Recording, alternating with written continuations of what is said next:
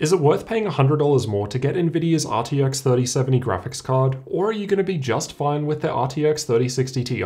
I've compared both in 13 games at 4K, 1440p, and 1080p resolutions, as well as content creator workloads to show you the differences. Starting with the spec differences, both cards have 8GB of GDDR6 memory at the same speed. The 3070 is rated 20 watts higher, but has a higher boost clock speed and 21% more CUDA cores, but has a $100 higher MSRP as a result, though actual prices could differ depending on availability issues that exist near launch. This is the system that I'm using to test out both graphics cards, so an overclocked i9 10900K at 5.2 GHz with 32GB of DDR4 3200 CL14 memory and dual channel. I've got a full list of all components and updated prices linked in the description. We'll first dig into the gaming results, then check out cost per frame, power draw, and content creator workloads afterwards. Microsoft Flight Simulator was tested in the Sydney Landing Challenge. There was more of a difference seen in the 1% lows. At 1080p, the 1% low from the 3070 was 17% higher than the 3060 Ti.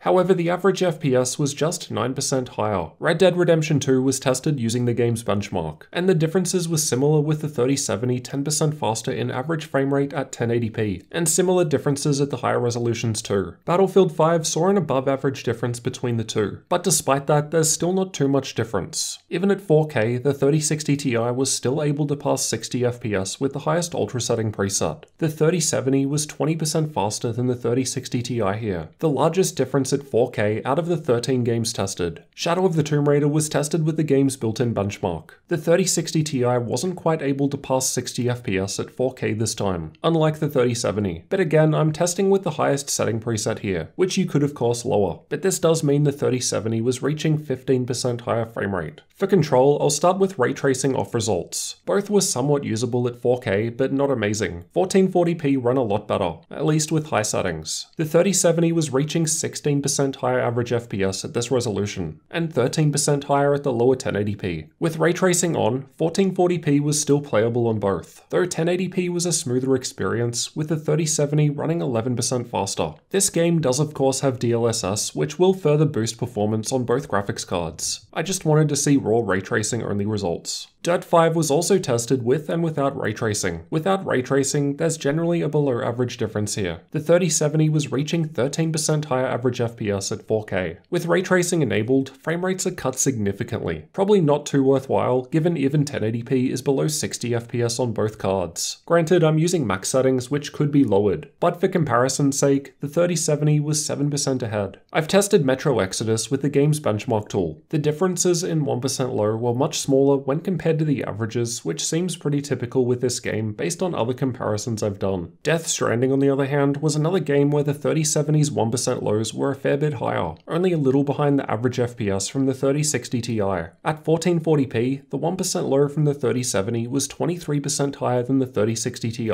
Meanwhile, the differences to average FPS was lower at 11%. The Witcher 3 had the largest difference between these two graphics cards at 1080p and 1440p resolutions, with the 3070 16% and 17% ahead of the 3060 Ti respectively. At 4K, there was a slightly larger 18% difference, making this the second largest improvement on the 3070 out of the 13 games we're looking at here. Assassin's Creed Valhalla was tested with the game's benchmark, and this game had the smallest difference out of all games. Basically no change at 1080p, the 3070 was 5% ahead at 1440p and 8% ahead at 4K. So yeah, probably not worth spending 25% more money on a 3074. The differences in Watch Dogs Legion were very similar to the average differences out of all games. So what we're looking at here is fairly representative of most games covered. The 3070 is definitely faster. I just don't think there's much difference in practice. Call of Duty Modern Warfare was tested in campaign mode and only had small changes at 1080p. The 3070 was just 5% ahead in average FPS. Things pick up a bit at 1440p though, where the 3070 was now 12% faster, then 15% faster at 4K, so larger differences at higher resolutions. Rainbow Six Siege was the only game tested with Vulkan, and the performance differences were a little above average with the 3070 when compared to the rest of the games. But still, the 3060 Ti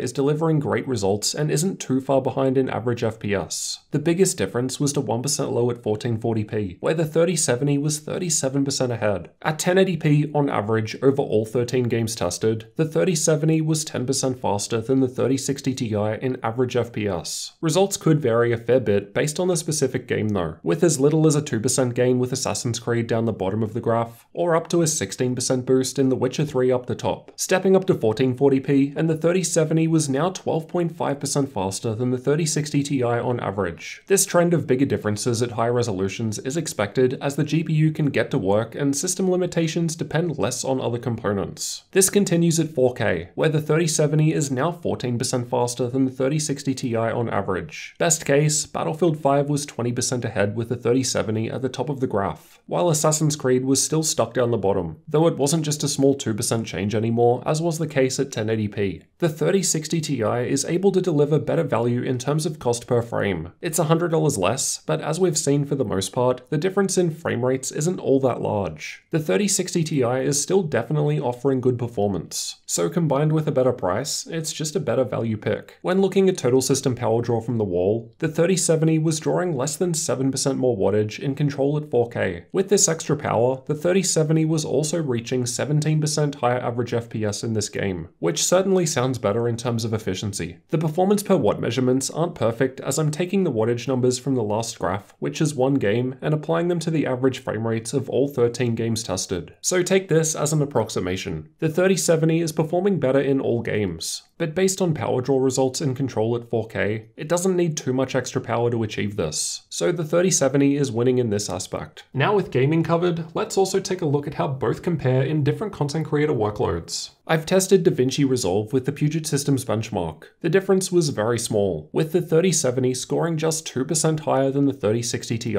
My Adobe Premiere export test was actually consistently a little faster on the 3060 Ti, but it's only a 13 second difference in a 9 minute render, so again nothing major, and kind of margin of error stuff. The V-Ray benchmark was only scoring 4% higher on the 3070. Both of these offer huge gains compared to older Turing graphics cards if you've caught any of my previous comparisons, but relative to each other there's not much difference. Blender was tested with the OpenData benchmark. The longer classroom test was completing 11% faster with the 3070, while the shorter BMW test was 9% faster, or just 3 seconds. Again, nothing too large. So as expected, the more expensive 3070 does perform better than the 3060 Ti. I know, big surprise, right? In many of the games tested though, I don't think the performance difference is really that large. And in practice, it's probably not going to be one that a lot of people are really going to notice, especially in those content creator workloads I tested. Assuming MSRP, you're paying 25% more money to get 10% more performance in games at 1080p, or 12.5% more performance at 1440p. Of course, that percentage difference does become smaller in the context of a whole new system. It's only really useful if you're just upgrading the graphics card. Unless you're going for high resolution gaming like 4K and have the money, honestly I think the 3060 Ti